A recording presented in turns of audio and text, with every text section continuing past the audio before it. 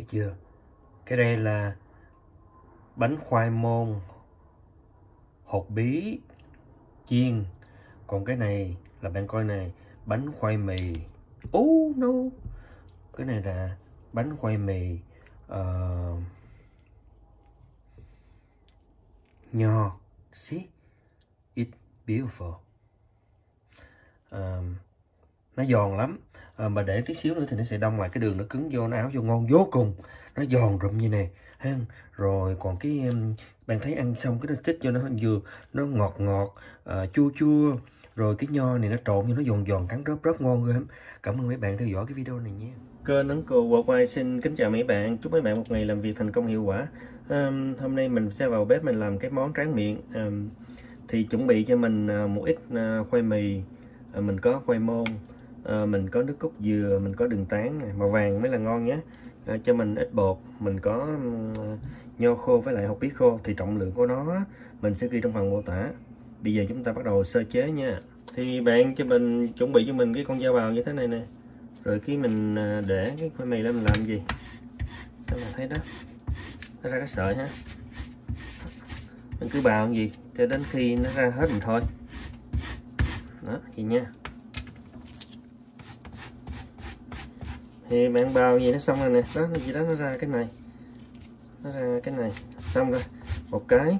Thì cái này là khoai mì. Rồi mình để mình để khoai mì riêng. Để khoai ờ, khoai môn riêng nha mấy bạn. Đó, một cái xong. Thấy chưa? Để riêng ra.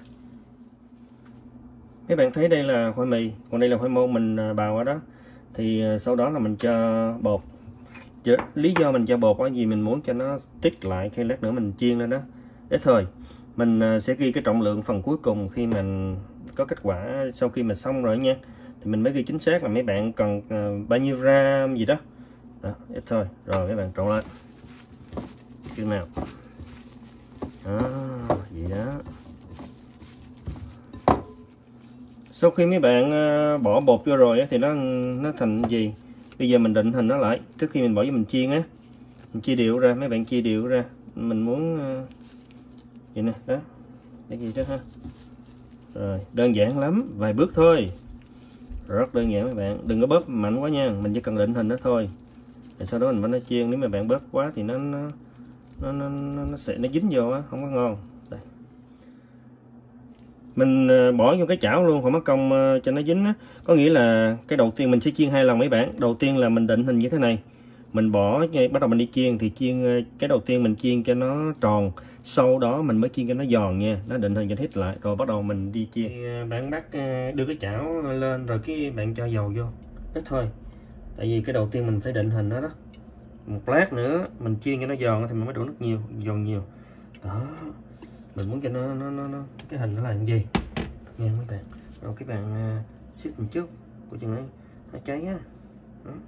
Nhẹ nhàng thôi đầu tiên là mình muốn nó stick lại trước thành một cái một cái hình tròn trước à nhé một lát nữa à, cái thứ hai sau khi nó đã dính với vô, vô rồi á thì lúc đó mình, mình bắt đầu mình chuyển sang à, mình cho dầu nhiều. Em thấy là nó đó thấy chưa? Đó mình vấn đề đầu tiên đó là mình để cho nó nó gì trước à đen một lát nữa nó ờ, xong rồi mình mới bắt đầu mình bắt một cái chảo lớn là mình đổ dầu nhiều vô rồi mới xử nó luôn đó. Để cho nó định hình đúng không? Nó khỏi chạy. Muốn cho nó hình tròn như này nó đẹp quá. Rồi đó. Tạm thời là đúng không? Lát nữa là tao sẽ tính tính toán với thì mấy bạn ơi sau uh, hai cái mặt nó như thế này bây giờ mình lấy nó ra. Mình lấy nó ra bắt đầu mình mới bỏ vô cái chảo dầu lớn mình chiên mấy bạn. Ok? Thì mấy bạn bắt cho mình cái chảo dầu lên. Dầu nó nó sôi rồi mình bỏ nó vô. Đó bắt đầu mình chiên đó mấy bạn. Đó này chiên hai lần. Lần đầu là mình định hình cho nó, lần hai là mình chiên cho nó giòn luôn. Đúng không nè? Đó, bỏ vô. Đó vô. Đó vô. Đó vô đó vô nhiều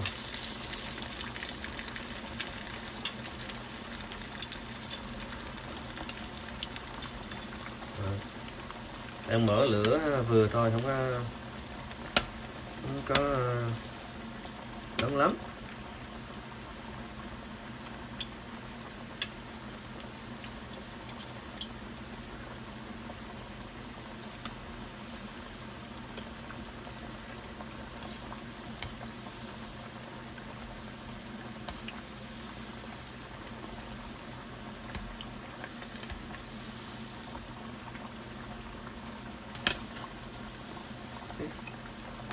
đó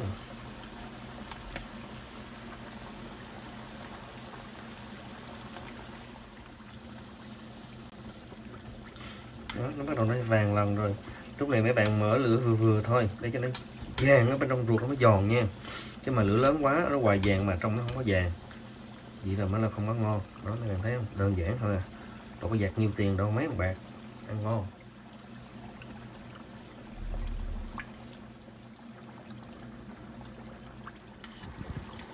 Bạn thấy gì là nó đã được rồi nè?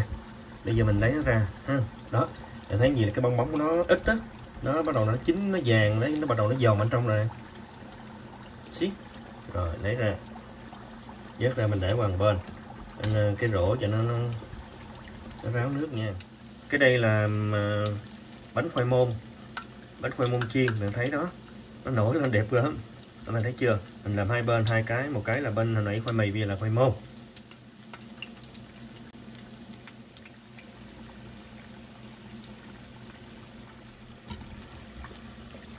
Bạn thấy gì nó gần à, gần gần xong rồi đó.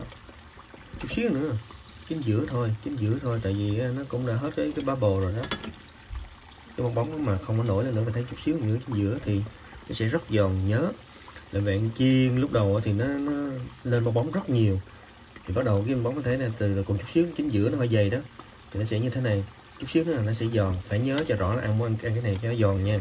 Nếu như mà chính giữa nó còn chút thịt á Ờ, mềm á là lát nữa cái mấy bạn mix á nó bị ờ, nó bị hơi uh, cũng có hơi uh, xốp xốp chút nhưng mà muốn ăn cái giòn cắn nhau rộp rộp rộp vậy đó.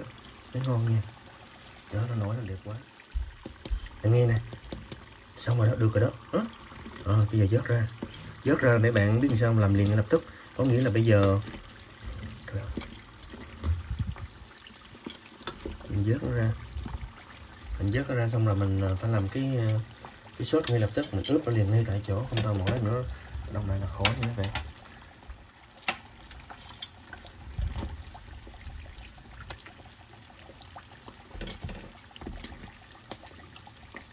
ờ, thì để mình thắng nước đường để lát nữa mình làm á thì mấy bạn bắt cái chảo lên. Bắt đầu bỏ đường vô hết luôn năm cục vâng. Ok. Rồi sau đó cái mấy bạn cho nước cốt dừa.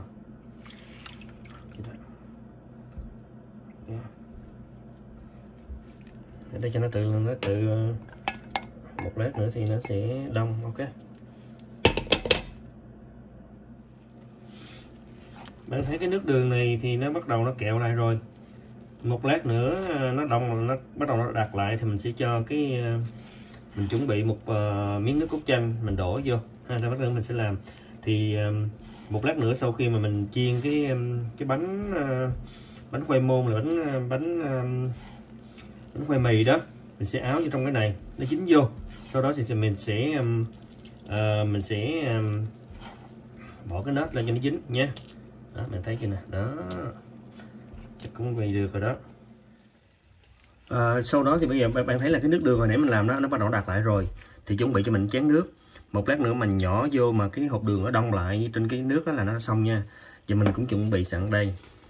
Là cái bánh khoai mì nướng xong rồi nè và do cái khoai mì nướng mình sẽ có hai cái loại nết, thì cái khoai mì nướng mình sẽ cho nó áo lên cái này nhắm chấm vô cái này, làm cái này liền ngay tại chỗ nha các bạn. Nếu như mình để lâu thì cái đường nó đông lại, không có dính vô. Đó, bắt đầu là đây, mình chuẩn bị sẵn rồi. Đó, mình sẽ làm rất nhanh. Tại vì cái này nên nhớ rõ là mấy bạn phải làm rất nhanh. Không thôi mình nó đông lại rất là nhanh thứ nha. Wow. đông rồi. Okay. Oh man.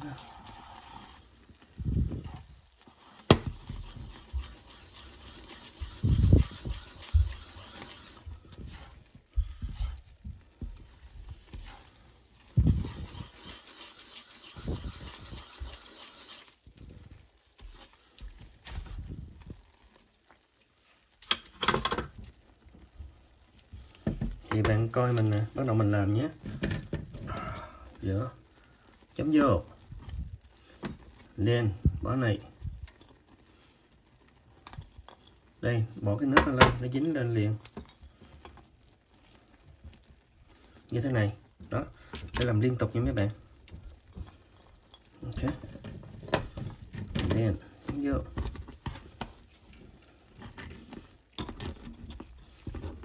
Tiếp tục.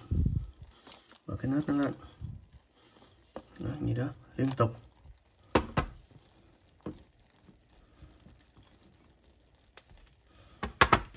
Mấy bạn phải làm liên tục không thôi mà không thôi đường nó đông lại là thua. Mình làm gì luôn cho nhanh. Nè nè bọt nó lên. Đó là nó mới stick lại nha mấy bạn. Vậy nè đó, giờ vậy. Đó. ok làm gì oh my ok tiếp là mình làm cái bánh khoai nha bánh khoai môn, bạn nhớ không? Hai loại nhất. Bánh khoai môn mình cũng vậy. Oh wow. And then wow. anh nóng quá. Ok. Vậy đó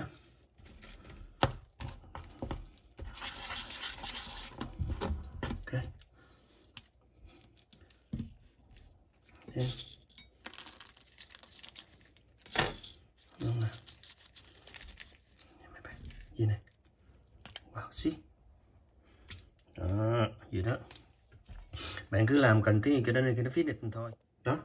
Bạn thấy chưa nào? Uh, uh. bây giờ bắt đầu nó khô thì mình bây giờ đó là xong rồi. Bây giờ mình khô chờ khô mình bỏ vào cái dĩa cho đẹp nha. Rồi mình sẽ kể đầu đuôi câu chuyện cho mấy bạn nghe nha. Mấy bạn ơi cuối cùng thì cái món uh, uh, khoai mì uh, uh, với lại khoai môn uh, chiên. Ờ, uh, topping uh, ờ, nho khô với lại hột bí cũng đã xong.